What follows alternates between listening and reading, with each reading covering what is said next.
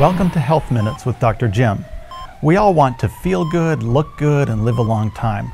We all want to be happy. So, what does science tell us about happiness? Only 10% of happiness can be explained by our life circumstances. That is, how rich, beautiful, or stress free we are. 90% of happiness comes from our thoughts and behaviors, regardless of circumstances. We can deliberately change to become happier. Happy people have important similarities. They devote time to family and friends, they appreciate what they have, they maintain an optimistic outlook, feel a sense of purpose, and live in the moment. So practice, practice, practice being happy.